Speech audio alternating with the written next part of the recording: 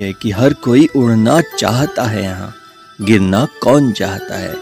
हर कोई उड़ना चाहता है यहाँ, गिरना कौन चाहता है?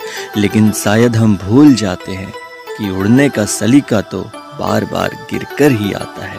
खुद को बेहतरीन खिलाड़ी कहते हैं हम और थोड़े से दर्द से रोते हैं। खुद को बेहतरीन खिलाड़ी कहते हैं हम और थोड़े से दर्द से रोते हैं। बड़े से बड़े दर्द को घूट बना कर पी जाए जो हकीकत में वही खिलाड़ी बेहतरीन होते हैं।